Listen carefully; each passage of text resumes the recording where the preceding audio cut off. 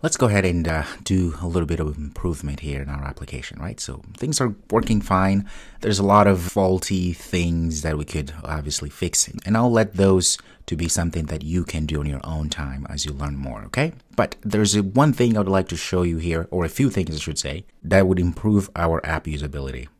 Okay, first thing here you notice, as we go through our application, let's say I say it's false or it's true, I can keep going false is true and it's adding more points here right? That's not necessarily the best thing to have in the trivia app right? So one way to solve this i'll let the other better way to solve this for you to figure out okay? That's another challenge. We love challenges as developers.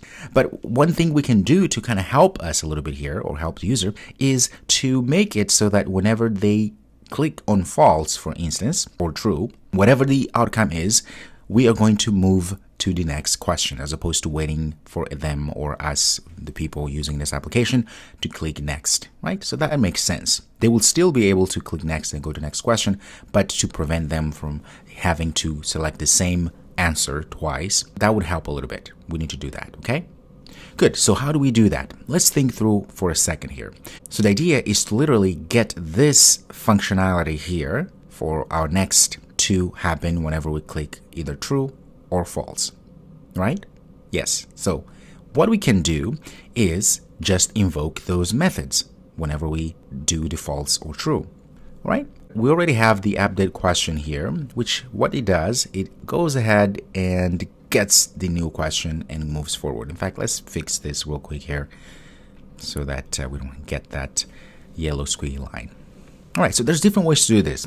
So we can go ahead and just call this update question, which does all the updating really, the moment that we have answered the question.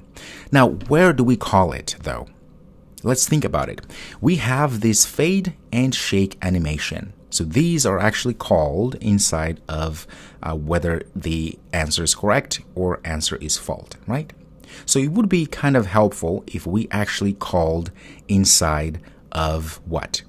Inside of those methods because we want to make sure also that before we go to the next question, right?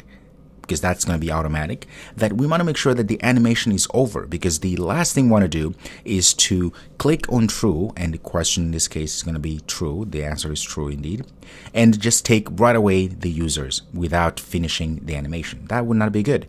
Hence, we had this set animation listener where we can track where the animation is happening.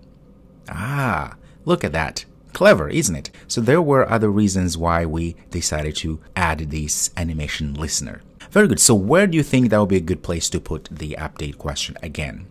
Well, the update question would be really good to put after the animation is done, right? So that would be where? Here. The moment the animation is done, the card is back to white. We're going to move to the second one. So let's give it a try. I'm going to say update question like that. And of course, we're going to do the same thing when it's wrong. So when we're shaking, so we're going to go back to when it's done. I'm going to call the update question as well. Now, the problem here may not be very clear at this point. So this will work. It's working fine, but it's not quite working. Why? Well, when we update question, remember what happens when we say next, right? Let's see where we are doing next.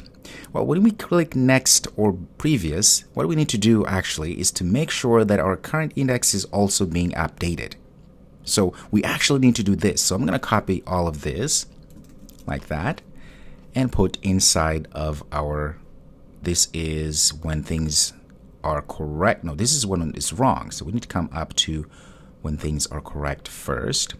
And I'm going to add it here like that.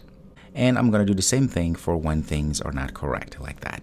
Because we are always going to go and move forward. Right? So let's save this now and uh, do a quick run here. We should be able to get the results that we want. So starts at here. I'm going to say false. Look at that. The moment that the animation was over, it went ahead and got the next question. Let's say this is also false. That's true. Goes to next one. I'm going to say that's true, that's wrong, goes to the next one. So the moment it's wrong, obviously just keeps going to the next one. And let's see, I'm going to say false, that's true, goes to the next one. And false, again, that's true. I'm going to say true. See, it's keep going. That's false, goes to the next one. That is false. That's true. Goes to the next one. So it is indeed working as expected. So that is very good. That's real, really, really good. The other thing we can do, we can refactor this code here because we, it's being repeated, right? So I'm going to copy this, create another method at the bottom here. I'm going to say private void go next. Okay, so that way we can just call this method whenever we need it. So I'm going to say copy, get rid of this, and I'll also do the same here. And of course, in our next button, I'm just gonna copy, put it, go next, like this. All right? Very good. So of course, this one is gonna keep there because we are making sure that we don't go minus zero, right? Which is not what we want. So this we can leave as it is. Very good. So we did a little restructuring there, not a big deal. And if we keep running this, of course, it's gonna still work right? So our highest is going to be 900 still because we haven't beat that.